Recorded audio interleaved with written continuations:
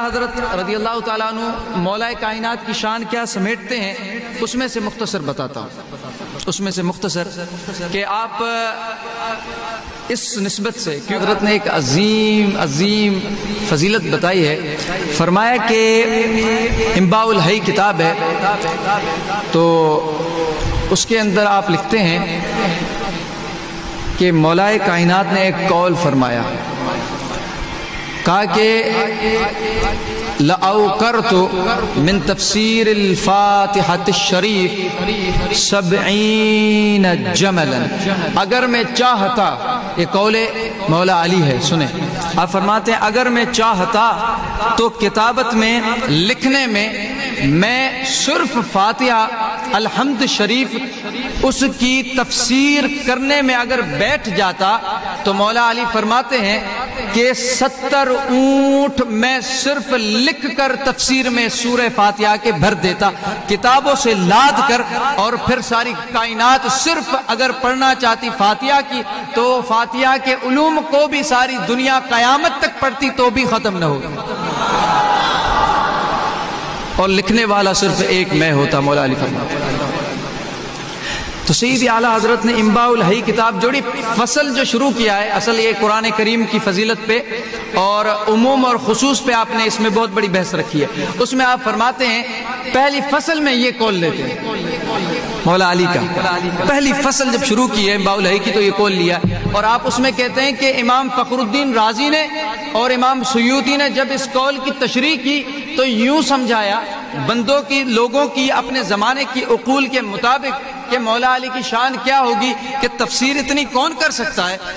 तो वो कहते हैं, इमाम सयूती और फखरुद्दीन राज़ी ने यूँ कहा रही वो कहते हैं कि इस तरह के मौला अली जब कहते होंगे, अल्हम्दुलिल्लाह तो फिर हमद की तफसीर करते होंगे।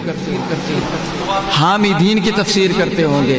हमद की किस्में बताते होंगे। हमद की नोयत बताते होंगे। कैसी कैसी हमद है? हमद करने वाले कैसे हैं? और वो जिसकी हमद की जा रही है, फिर रब्बिल आलमीन रुबूबियत बताते होंगे। उसके राज बताते होंगे। खुदा की खुदाई पालना कैसा है? और किस तरह पाला जाता है? कैसे पालता है? उसकी शराइ उसकी अनवा उसकी अकसाम बताते होंगे। फिर उसके बाद फरमाते कि आलमीन जब है, अल्हम्दुलिल्लाह रब्बिल आलमीन। तो आलमीन का ज़िक्र है। तो करते होंगे मौलाए कायनात तफसीर। अगर फरमाते हैं कि मैं सत्तर ऊँट भरता तो कैसे भरता?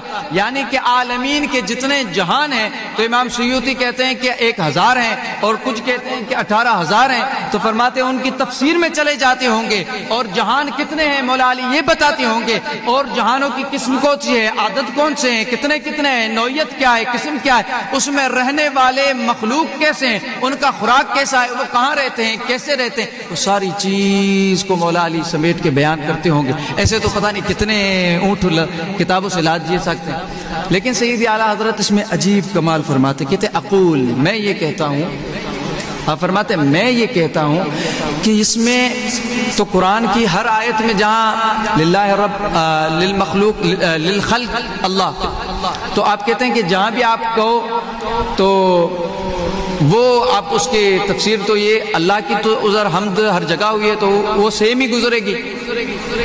लेकिन इसमें फातिहा शरीफ की क्या फजीलत रही? और खसूस क्या है? तखसीस क्या हुई? तो फरमाया, वो ये हुई कि मौलाए कायनात जब फातिहा शरीफ खोलते होंगे, अभी सईद आला हज़रत फरमाते, जब फातिहा शरीफ खोलते होंगे, अलहमद, आप आप और हम तो अलहमद डेली पढ़ते हैं, फ़र्ज़ नमाज़ में, हर रकात में पढ़ते रहते हैं, सारे दिन पढ़ते हैं। और आप फरमाते जब मौला अली फातिया खोलते हैं, ये तखसीस है फातिया की, सिर्फ़ मौला अली के साथ। किस तरह? आपने कहा, इस तरह कि जब खोलते होंगे तो आपने फरमाया कि